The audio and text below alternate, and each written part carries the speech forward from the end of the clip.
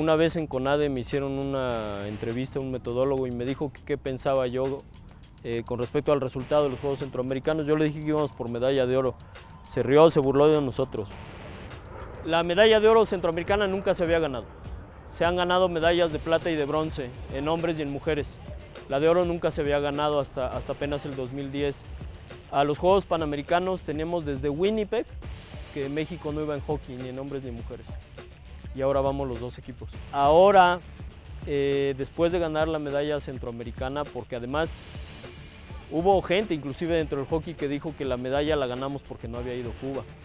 Yo les quiero decir que Trinidad y Tobago, que fue el rival que tuvimos en la, en la final, es un equipo que pertenece a la Commonwealth, que este, nueve de sus 16 jugadores que fueron a los Juegos Centroamericanos juegan en la Liga Premier de Inglaterra este, son tipos muy altos, muy atléticos, al fin este, de la raza negra.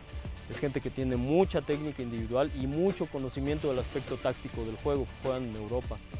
Este, sin embargo, bueno, el equipo se planteó de manera diferente, fue muy frontal, fue muy, ¿cómo se llama? muy combativo, la preparación física estuvo en su mejor nivel y eso nos permitió llegar a la medalla de oro teniendo ese resultado con los resultados que hemos, que hemos ido recolectando actualmente en otras competencias a las que hemos ido, nos, primero nos abre los ojos en el sentido de que la única forma de mantenernos vigentes y mantenernos con la posibilidad de tener un excelente resultado en los Juegos Panamericanos es trabajando.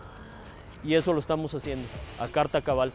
El equipo tiene en este momento más de 25 gigas de información de, septiembre para acá en cuestión de este, información que hemos ido recolectando, videos, fotografías, evaluaciones, listas de asistencia, etcétera, etcétera. Tenemos mucha información que antes no se tenía con respecto al hockey.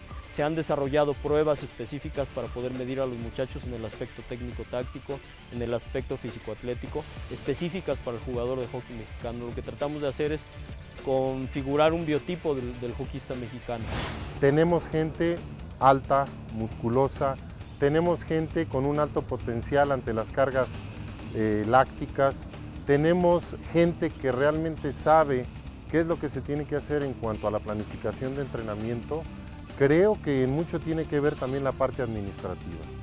Creo que en mucho tiene que ver también esa parte de pagar bien a los entrenadores, pagar bien a los metodólogos, pagar bien a los médicos, pagar bien a los psicólogos. En ese sentido yo creo que nacionales, estoy hablando de la gente mexicana. Probablemente la altura o el físico ellos lo pudieran ver como un impedimento, bueno, pero por fortuna el mexicano es más hábil, es más, tiene una chispa, ¿no? Que probablemente el europeo no lo tiene, ¿no? Entonces eso nos les abre las puertas para poderse colar en alguna liga europea y en la cancha nosotros tenemos la idea de ganarle a los argentinos, de ganarle a los cubanos y de ganarle a los gringos, que son nuestros rivales directos de grupo. Nosotros no solo queremos el oro, el oro panamericano, queremos estar por primera vez en unos Juegos Olímpicos ganándonos el derecho, no que nos llegue de rebote. México ha participado en dos Juegos Olímpicos en su historia, en 68 por ser sede y en Múnich en el 72 por un arreglo que hubo ahí en la Panamericana con los argentinos. Los argentinos pensaron que el equipo mexicano los iba a vencer en aquella época y arreglaron que fueran dos equipos, los dos primeros lugares. México quedó en segundo lugar en la final panamericana, pero de todas maneras accesó a los Juegos Olímpicos. Me ha tocado vivir todas las problemáticas en todos los ambientes, en todos los puntos, ¿no? Como atleta, como entrenadora. Lo que he tratado en mi gestión es hacer una apertura, ¿no? Que los entrenadores tengan la libertad de hacer sus planes de trabajo, de hacer sus, este, cuando traen a los chicos, que ellos sean los que traigan a los atletas, que estén, bueno, yo no me he metido en esa situación, lo único que a mí me corresponde es la parte administrativa y los entrenadores tienen la libertad de, de hacer lo que ellos creen que es lo mejor para su equipo, ¿no? Creo que nos hace falta eh, tomar eh, en serio el papel que tienen los deportes de conjunto en este país y que sí se puede llegar a tener resultados eh, de, primer mundo en, los deportes de conjunto. Yo espero, como presidenta de la federación, que estén dentro de los cuatro primeros lugares en el Panamericano. Hablar de medallas, bueno, sería muy difícil, pero creo que su objetivo definitivamente es ser portadores de una medalla. Quiero que quede claro, México va a los Juegos Panamericanos no como, no como sede, vamos como campeones del área centroamericana. Es diferente, no vamos como sede.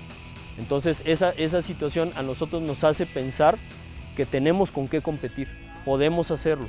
¿sí? Lo, que, lo que necesitamos es seguir trabajando.